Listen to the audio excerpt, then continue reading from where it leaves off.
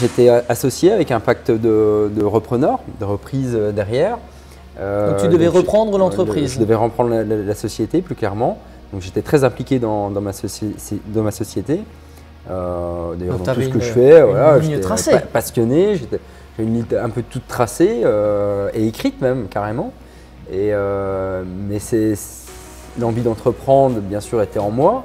Mais la, la solution plus que pro, encore une fois, m'a fait complètement euh, vriller, je dirais, euh, changer de direction. Et euh, en quelques semaines, euh, j'ai pas mis beaucoup de temps pour euh, changer euh, un énorme cap dans ma vie. En tout cas.